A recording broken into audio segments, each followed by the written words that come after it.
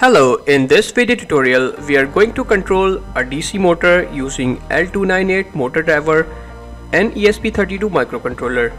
So let's get started.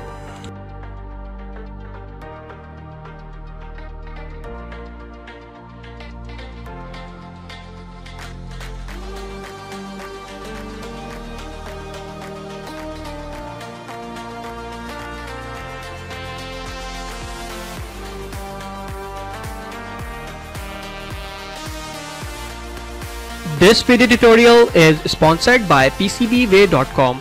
They are providing you a high quality PCBs for just $5 only. So visit the website and click on this sign in button. Create your account and then click on $5 for 10 PCB button. Fill the specification like number of layer, dimension, color and quantity. Select your country from here and also a different shipping method.